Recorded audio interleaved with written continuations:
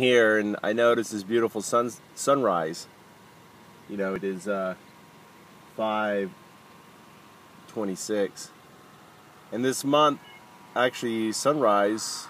You know, when I first started getting up, was at around four. And I don't know if you can hear that sound in the background, but that's uh, a mini chopper putting down fertilizer and um, Japan Agriculture, which is like the USDA, right? U U U.S. Department of Agriculture, Culture basically mandates and encourages every farmer who grows rice in Japan to put down pesticides, or in Japanese, noyaku. These pesticides are basically turning Japan into a sterile country. These rice fields right now are full of rice, and yet you don't see one bird eating on the rice. You don't see any birds, very few actually on the road eating worms. The crane, you know, the, the, the sparrows, the starlings, everything is being devastated by these pesticides and and it seems like no one is paying attention in Japan.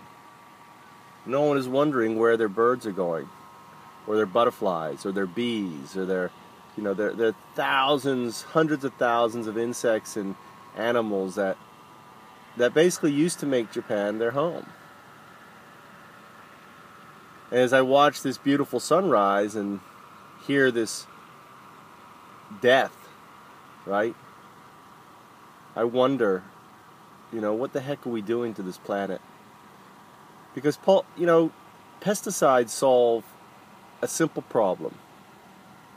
Critters eating the immediate rice, the rice for today. But it creates such a complex problem. How are we going to feed our future generations when we've destroyed and killed all the animals, when we have turned this planet into a planet where there is no other life except for us. And eventually, we too will perish.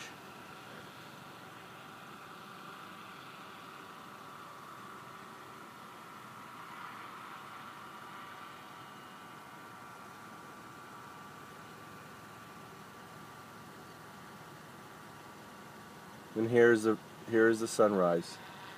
Today at 5:30.